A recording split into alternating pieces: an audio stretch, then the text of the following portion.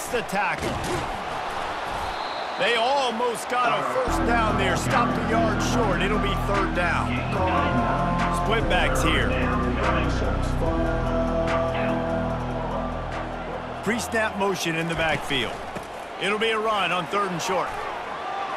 Oh, he gave him the dead leg. Crosses the 30. He's got away.